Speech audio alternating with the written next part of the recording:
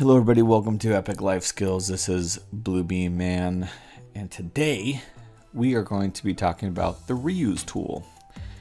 Before I get started, just make sure that if you like these videos, please click on the thumbs up below, share this video with your colleagues so they can learn as well, and then subscribe to my channel because I'm posting about a video a day right now and you want to stay up to date. And if you have any questions, please put a comment in the comment section below if you have a question or would like to see me talk about a certain subject on Bluebeam. All right, let's get going. So in this video, we're going to talk about a very, I would say it's a common feature, but it's very overlooked. And of all the people that I've taught and trained in this software, I noticed that when I finally tell people about it, they're like, oh my God, I can't believe I didn't know about that earlier.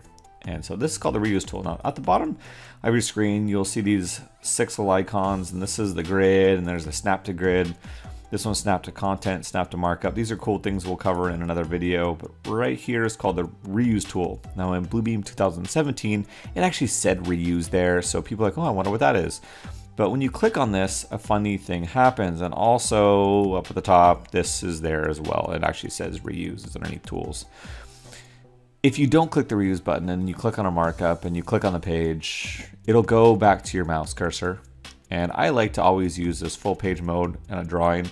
And I always keep this arrow on and this is a little side note to this video but if you zoom in you could click and hold down your scroll wheel on your mouse and it holds onto the drawing and you can just move your mouse side to side after you click it and pan around you can also double click on your scroll wheel and it'll go back to full page mode there's a little secret tip there for you but for the most part you're to click on a markup click on a page and it's to bring you back to your cursor well, with the reuse tool on, it keeps the icon live on your mouse. So every left click is gonna place that markup. This is great for takeoffs, for designs, you name it, but it's really good to, if you're gonna have to put something that's in your tool chest on a drawing somewhere multiple times all over the drawing. This is, again, this is if you watch my takeoff stamp tools, this is key to that. If you don't know about it, oh my god, it'll drive you crazy going back and forth, back and forth.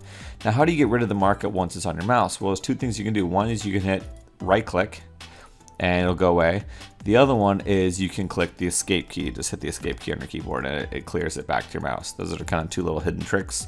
If you ever have a markup live, escape kind of brings you back to home. So that is the reuse tool. It's highly um, missed and everyone should know about it. And I believe it'll make your life a lot easier when you're doing takeoffs or you're having to do big, large scale designs. In Bluebeam, it totally comes in handy. I actually leave it on all the time uh, because I'm just so used to it. So that is the reuse tool, everyone. And definitely share this video. These are a lot of little tips. I call them PEDs, performance enhancing details, kind of like in that book um, by uh, what's the guy Tim Ferriss. He called them PEDs. I thought that was the coolest thing I've ever heard because all these little details combined together make for a powerful workday when utilizing Bluebeam to supercharge your workflows. Take care, everybody.